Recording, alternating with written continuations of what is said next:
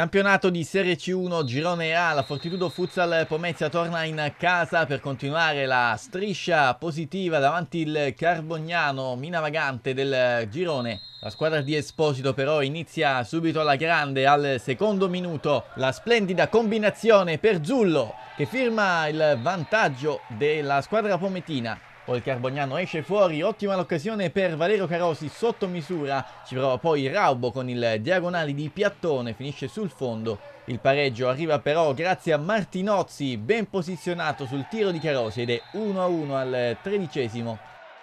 Ci prova poi Stefano Carosi dalla distanza, ancora Carbognano, Martinozzi, ancora Stefano Carosi, la Fortiludo però riesce a tornare in vantaggio il break di Zanobi che poi va a concludere in azione personale ed è 2 a 1 per la squadra di Esposito che poi si sblocca mentalmente. Zullo sotto misura non riesce a trovare il gol ma si rifà subito ancora una volta in tandem con De Simoni. Montagna mette dentro e poi Daniele Zullo firma il 3 a 1.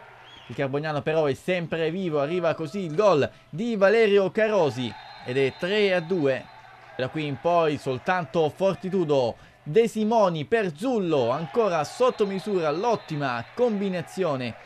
E i due si ripetono in coppia d'oro ancora una volta, di nuovo De Simoni per Zullo.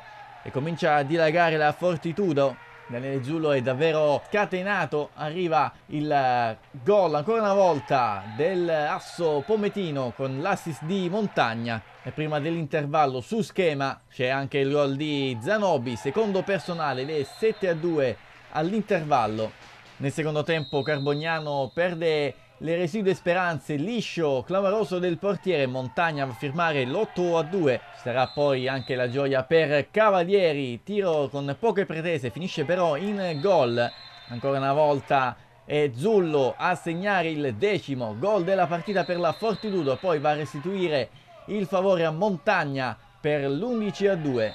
Il gol della bandiera per gli ospiti arriva con Martinozzi, uno degli ultimi a mollare. Poi nel finale ci sarà anche la gioia per Caro Tenuto in estirada in eh, seconda battuta, trova il gol personale.